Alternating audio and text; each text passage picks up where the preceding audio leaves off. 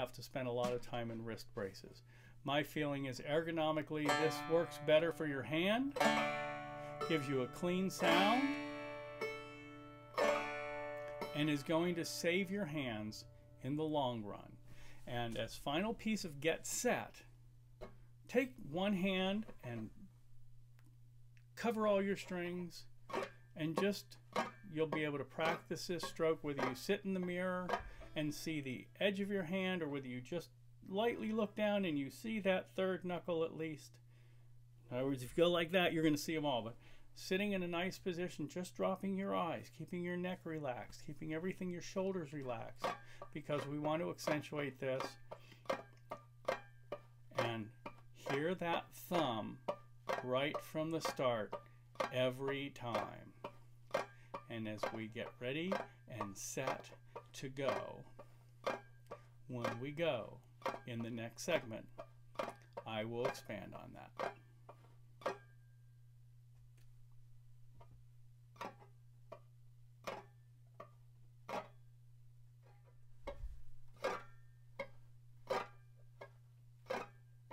This is where we just left off.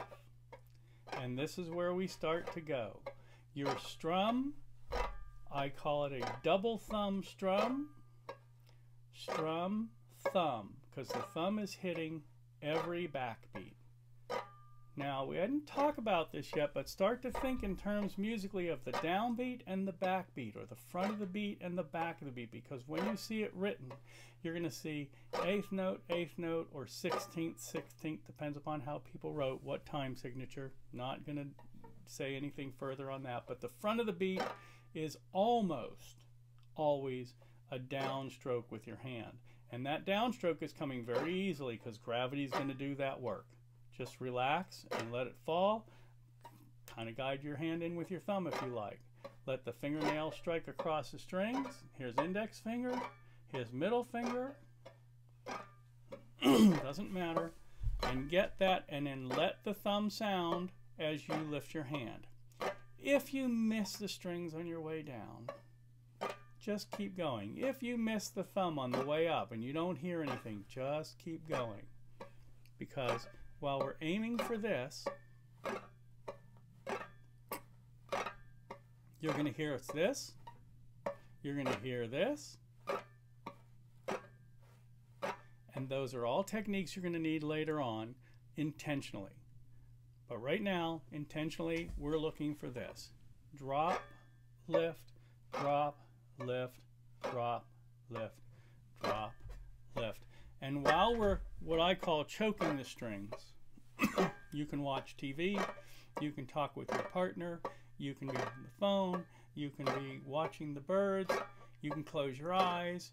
This is supposed to be the way you start to become smooth. This may take a while. It's also a way you'll be able to practice slower and bringing the speed up without thinking too much about tunes. And if you put on some music at the same time, which I'm not going to do right now, you'll find that you can follow right along at full speed, quarter speed, or half speed, or even dead slow while the music is playing at full speed. And I do urge you to listen to as much old time string band music as you can. Paying attention to the fiddlers for mel melody is something we're going to get into later on, but right now we're looking for that rhythm, that stroke and stroke and stroke.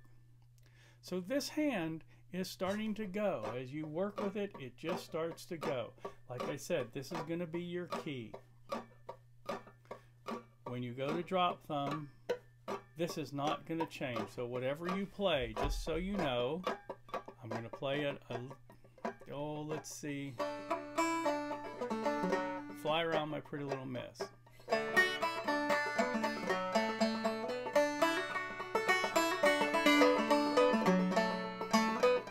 Now pay attention to the right hand. The motion doesn't change.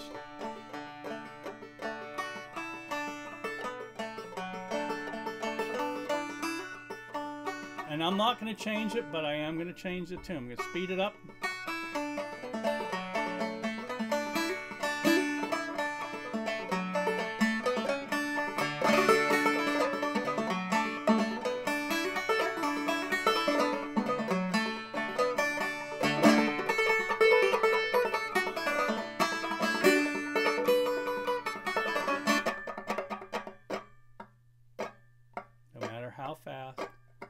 Slow. This is important because it's going to be your anchor for everything you do. But we're going to move into the left hand at this point. The go